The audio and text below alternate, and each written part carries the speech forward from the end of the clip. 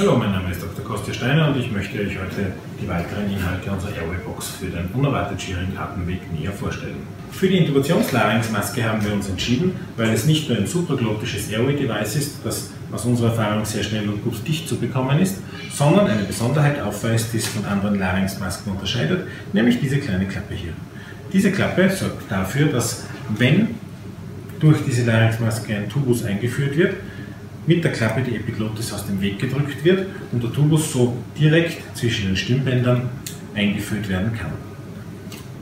Wenn ihr nun über das supraglottische Airway Device beatmen könnt und die Cannot Ventilate, Cannot Intubate Situation somit behoben ist, kann, wenn gewollt, eine definitive Atemwegssicherung über diese Larynxmaske durchgeführt werden. Hierzu wird der beigepackte Spezialtubus verwendet, der eine spezielle Spitze hat, die es ermöglicht, den Tubus direkt über die Larynxmaske zwischen den Stimmbändern zu platzieren. Des Weiteren ist noch ein Konnektor beigepackt und dieser Tubus wird einfach durch die Larynxmaske eingeführt, kann dann geklopft werden, mit dem Konnektor versehen werden und sollte dann automatisch zwischen den Stimmbändern gelandet sein. Und ihr seht, hier ist eine suffiziente Ventilation beider Lungen möglich. Die Intubation ist blind über dieses Device erfolgt.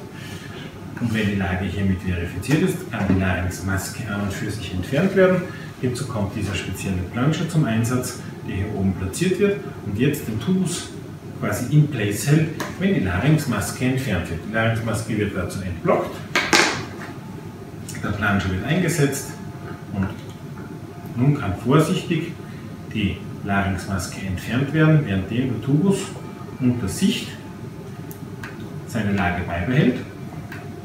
Dann könnt ihr den Tubus greifen, die Larynxmaske entfernen. Der Planscher muss nun entfernt werden, damit der Kraftdruckschlauch durch die Larynxmaske durchpasst.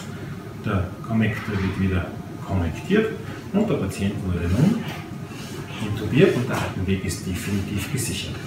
Das ist der zweite unserer Schritte hier in dieser Airway-Box. Nach dem zweiten Intubationsversuch mit dem AirTrack kommt also hier diese Intubationslarynxmaske zum Einsatz und wir hoffen, dass wir nie zu Schritt 3 kommen müssen.